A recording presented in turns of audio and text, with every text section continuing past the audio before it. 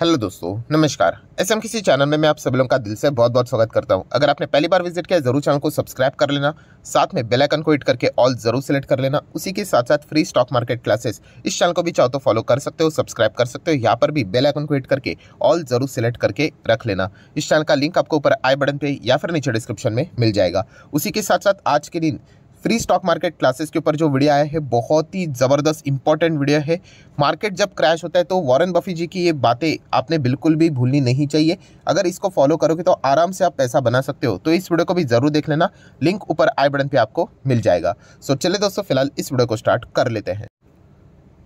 सो so, दोस्तों अभी हम लोग आ चुके हैं बिल्कुल हमारे नॉर्मल स्क्रीन के ऊपर। एंड दोस्तों यहाँ पे हम लोग बात करने वाले एक आज के दिन जो भी अपडेट्स फ़िलहाल तो बाज़ार में यहाँ पे चल रही है। आप सभी लोगों को पता ही है कि बाज़ार में हम लोग को थोड़ा सा डिस्टर्बेंस देखने को मिला है। उसके पीछे तो दो ही वजह हम लोग को देखने को यहाँ पे मिल रही एक तो अमेरिकन बाज़ार था जो अच्छा खासा गिरा। एंड उसके बाद तो आप लोगों को पता ही है कि हमारा जो पड़ोसी चाइना वहाँ पे जो चीज़ें हम लोग को देखने को मिल रही है इसी से रिलेटेड अलग अलग अपडेट्स हम लोग को सामने आते हुए देखने को यहाँ पे मिल रहे हैं। सो so, इस वीडियो की अगर हम लोग बात करें दोस्तों इस वीडियो को मैंने तीन हिस्सों में डिवाइड किया है। तीन हिस्सों में डिवाइड मतलब पार्ट वन हम लोग यहाँ पे फ़र्स्ट न्यूज़ कवर करेंगे कि चाइना की स्थिति क्या चल रही है, कोविड से related obviously then second part पे हम लोग कवर करेंगे कि उसका इम्पैक्ट भारत के ऊपर क्या आएगा। उसी के साथ साथ लॉकडाउन की क्या स्थिति हो सकती है, नहीं हो सकती है, मंत्री जी ने यहाँ पे, स्वास्थ्य मंत्री जी ने यहाँ पे क्या बोला है राइट ये सारी चीज़ों को मैं कवर करूँगा। एंड तीसरा, इसका इम्पैक्ट हमारे भारत के शेयर मार्केट के ऊपर क्या आएगा? वो भी कवर करूँगा एंड उसी के अंदर अंदर कौन से शेयर्स ऐसे रहेंगे जिसको फ़ायदा हो सकता है एंड कौन से शेयर ऐसे जिनको माइट भी नुकसान हो सकता है, वो मैं सारी चीज़ें रखने की कोशिश करने वाला हूँ। तो इन तीन पार्ट्स को स्टेप बाय स्टेप कवर करना है तो चलिए पार्ट नंबर वन के साथ स्टार्ट करते हैं, जहाँ पे है, आप सभी लोगों को पता है चाइना चाइना की स्थिति क्या चल रही है? तो दोस्तों चाइना की स्थिति बैड से वर्स्ट होते हुए देखने को मिल रही है, क्योंकि आप डेटा को पढ़ सकते हो कि China reports 37 million Covid cases per day, yes दोस्तों, एक दिन में थर्टी सेवन मिलियन मतलब आप अंदाज़ा लगाइए, लगभग लगभग साढ़े तीन करोड़ से भी ज़्यादा। ये रिकॉर्ड हम लोग को देखने को मिल रहा है एंड नो डाउट ये देखिए रिपोर्ट के ज़रिए रिपोर्ट के ज़रिए क्यों लिखा जाता है? क्योंकि चाइना तो आपको पता ही है डेटा प्रॉपरली देता है तो नहीं। तो इधर उधर से जो खबरें हम लोग को देखने को मिल जाती है एजेंसीज की ओर से, वो यहाँ पे कोट की जाती है। बट जितने भी अगर आप अभी वेबसाइट को अगर आप चेक करोगे तो thirty million per day infection का डेटा ये तो हम लोग को ऑलमोस्ट सर्टन होते हुए देखने को मिल चुका है। हर जगह पे यही खबर हम लोग को चलती हुई देखने को यहाँ पे मिल रही है। तो इतना तो हम लोग कह सकते हैं दोस्तों थर्टी सेवन मिलियन मतलब आप अंदाज़ा लगाइए सिंगल डे का रिकॉर्ड है। इतना ज़्यादा हम लोग को वहाँ पे हालत ख़राब होते हुए देखने को यहाँ पे मिल रहा है। उसी के साथ साथ अगर हम लोग बात करें चाइना की ही तो आप चेक कर सकते हो, लगभग टू फोर्टी एट मिलियन मतलब कितना? लगभग लगभग 25 करोड़ पकड़ लेते हैं। 25 करोड़ जो लोग हैं, या फिर आप परसेंटेज के फॉर्म में बोलो 18 परसेंट टोटल चाइना का पॉपुलेशन है, उसका 18 परसेंट। ये पहले ही दिसंबर के 20 दिन में हम लोग को कोरोना संक्रमित होते हुए देखने को यहाँ पे मिल चुके हैं। एंड ये सारी डेटा हम लोग को कहाँ पे मिल रहा है? According to the minutes from an internal meeting of a China का जो नेशनल हेल्थ कमीशन है, उससे रिलेटेड हम लोग को ये सारा डेटा देखने को यहाँ पे मिल रहा है। मतलब अगर आप चेक करोगे कि 20 दिन में ही 18 परसेंट तो आप अंदाज़ा लगा सकते हो कि जिस रफ्तार से वो आगे बढ़ रहे, पहले हम लोगों ने एक रिपोर्ट देखी थी चार दिन पहले ही कि 60 परसेंट चाइना का जो पॉपुलेशन है, वो तीन महीने के अंदर अंदर मतलब नब्बे दिन के अंदर अंदर इन्फेक्टेड हो सकता है। अभी जिस रफ्तार के हिसाब से चाइना चल रहा है, ऐसा लग रहा है कि सिक्सटी परसेंट पॉपुलेशन उनका साठ दिन में ही यहाँ पे हम लोग को इन्फेक्ट होते हुए देखने को यहाँ पे मिल सकता है, जो कि बिल्कुल भी अच्छा डेटा यहाँ पे नहीं है। नेक्स्ट अगर हम लोग यहाँ पे बात करें दोस्तों तो यहाँ पे देखा गया तो मतलब इतना सब कुछ होने के बावजूद चाइना ने एयरलाइन के ऊपर ट्रैवलिंग के ऊपर कोई भी रिस्ट्रिक्शन नहीं लगाया है। एंड चाइना तो नहीं लगाएगा, चलो ठीक ही है। उसी के साथ साथ वर्ल्ड हेल्थ ऑर्गेनाइजेशन डब्ल्यू की भी अगर हम लोग बात करें तो उन्होंने भी अभी तक चाइना से उड़ने वाली जो फ्लाइट्स है, दूसरे देशों में जाने वाली फ्लाइट्स है, उनके ऊपर कोई भी पाबंदियाँ नहीं लगाई है। ये एक बहुत ही बुरी खबर लग रही है। देखिए, मैं ये नहीं कह रहा हूँ कि ये जो फ़िलहाल का जो वेरिएंट देखने को मिल रहा है, इसके चलते हमें डरने की ज़रूरत है। बट फिर भी अगर चाइना में इतना ज़्यादा डिस्टर्बेंस देखने को मिल रहा है बेसिक चीज़ ये तो हम लोग कर सकते हैं क्योंकि एक देश से दूसरे देश में वायरस जाता कैसे है?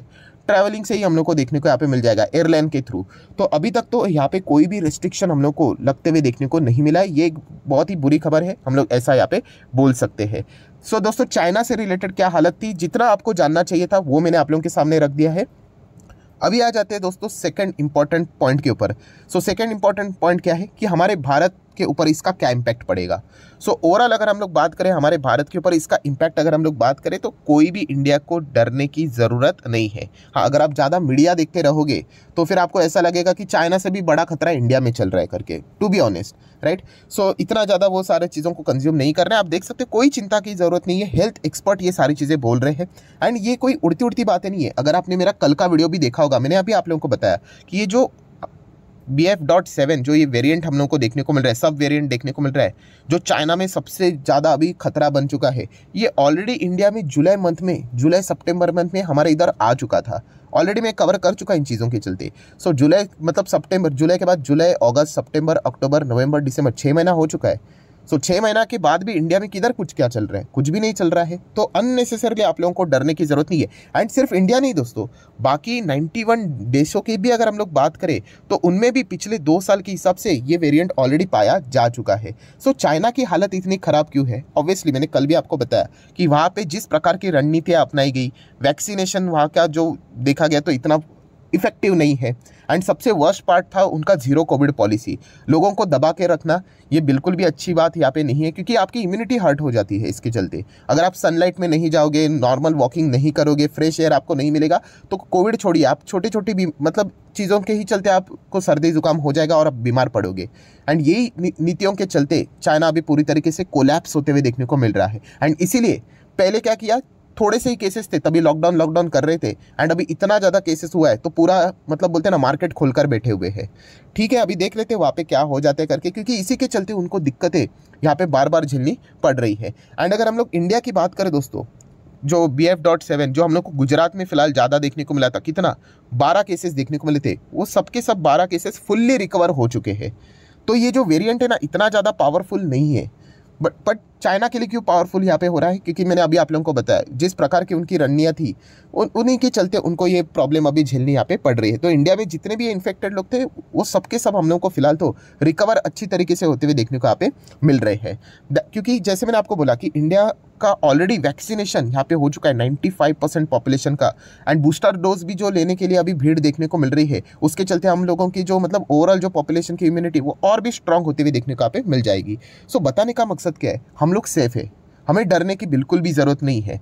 एंड इंडिया का अगर मैं ग्राफ आपके सामने रख दूँ, आप यहाँ पे चेक कर लेना। मैं थोड़ा सा एक साल का नहीं छः महीने का कर लेता हूँ। मतलब बेटर क्लैरिटी मिलेगी। ये देखिए छः महीना।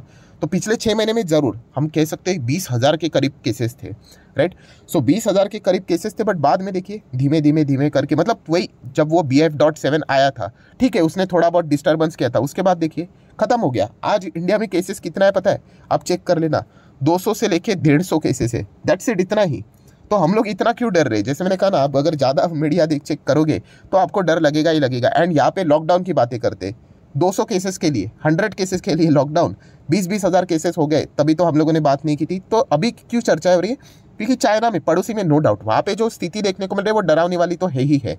सो so, बिल्कुल भी आपने डरने की ज़रूरत नहीं कोई लॉकडाउन शॉकडाउन होने वाला नहीं है। मैं ऑब्वियसली फ़िलहाल की सिचुएशन के हिसाब से बोल रहा हूँ एंड हम लोग यही प्रे करेंगे कि ये सिचुएशन ऐसी ही बनी रहे कोई चिंता करने की ज़रूरत यहाँ पे नहीं रहेगी राइट सो अननेसेसरली पैनिक होने की ज़रूरत यहाँ पे नहीं है क्योंकि जैसे मैंने आप लोगों को बताया था ह्यूमन नेचर ही वैसा है। अभी मैंने आपको कॉन्फिडेंस बढ़ाने के लिए पचास अच्छी चीज़ें बोली ना एक नेगेटिव न्यूज़ आ जाओ आप उसी के बारे में सोचोगे।